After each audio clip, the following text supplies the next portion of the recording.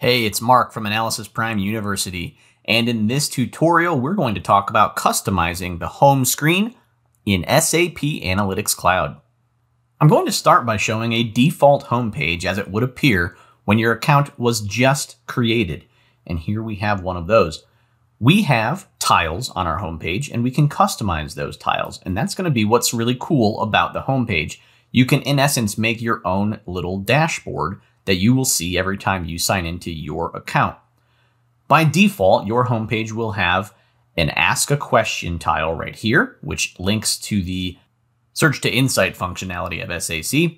Then we have a Getting Started type of tile here, where you can explore a sample story, learn how to change your profile settings, and explore the Help Center for the first time. This tile is one that is commonly removed by clicking on the delete button because as you start to use the tool, you don't need that anymore. The other tiles that are there by default include recent stories, a sample numeric point chart, and a sample bar chart. Now here's some things to be aware of when it comes to these tiles on your home page. First and foremost, you can move them around. I'm simply dragging and dropping these tiles to rearrange them as I would like to. Now these two sample charts, for example, point to another cool piece of functionality I can pin visualizations from other stories directly to my homepage to have them here as a little preview. We'll cover that towards the end of this tutorial. But let's say we accidentally delete one of our tiles and we want it back. How do we do that? We're going to click on our profile button over here at the top right of our screen, and we're going to go to home screen settings. Towards the bottom of our edit home screen pop-up here, we have a list of home screen tiles that are available to us from here.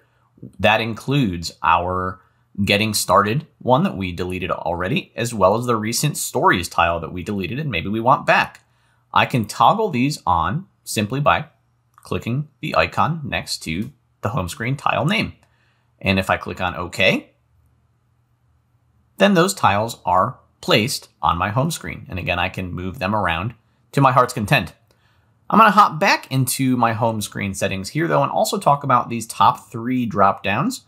We have a default tab, which starts with Today, which is your customizable home screen. It's called Today on this screen here.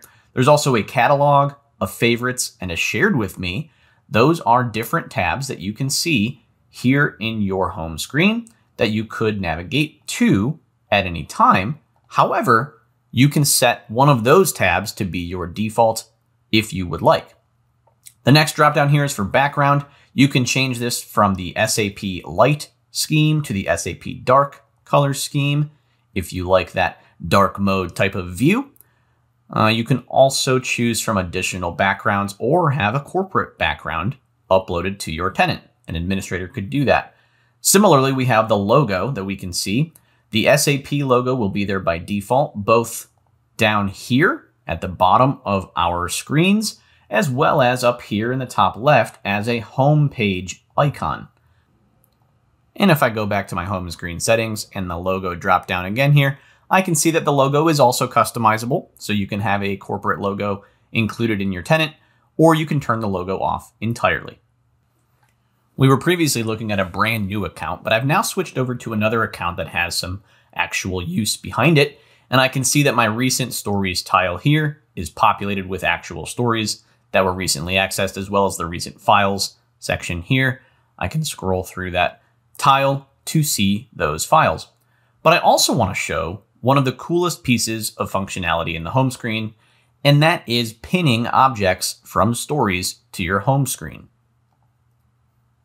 I'm now viewing a simple story with a couple of visualizations in it. If I really like one of these visualizations and I find myself constantly opening up this story to view that information, I can choose to take that visualization, let's say this pie chart here, and click on the More Actions button and click on Pin to Home. The system will tell me that that was done so successfully. And now if I go to my home screen again, I will have a new tile directly from that story. This tile can also be dragged and dropped uh, to different sections of my home screen, and I can also resize it and truly make my own customizable dashboard that I will see every time I log in.